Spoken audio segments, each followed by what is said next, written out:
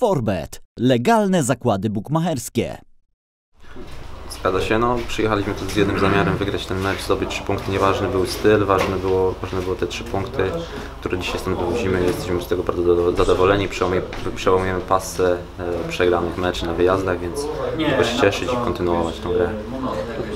Tak, wydaje mi się, że ten mecz był trochę bardziej w środku pola, był wiele piłek długich, e, nie było może składnych akcji na boisku, też na to nie pozwalało.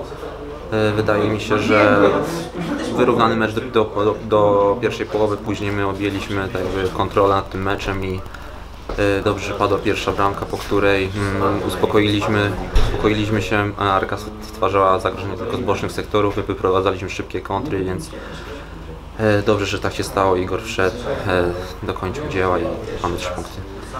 E, No tak, e, pierwsza bramka w Śląsku, bardzo się cieszę, że ją strzeliłem, e, czekałem na nią, mm, trochę długo może, aczkolwiek to nie są moje zadania główne, głównie pracuję w obronie, więc e, taka bramka cieszy. No nie spodziewałem się, bardziej chciałem dośrodkować e, na, jednego, na głowę jednego z naszych zawodników. Wyszło tak, że wpadła do bramki, jestem z tego zadowolony.